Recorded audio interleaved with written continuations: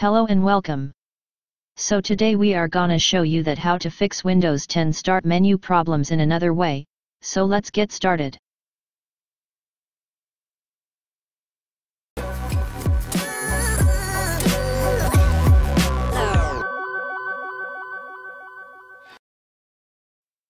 Go to Windows button and right click on it.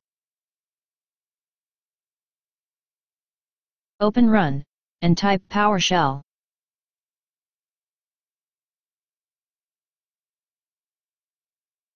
After opening PowerShell, paste the whole command which is in description of this.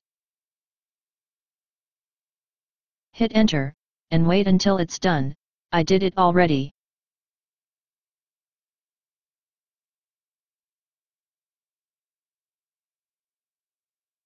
As I have done this process, this time it will not work on my PC.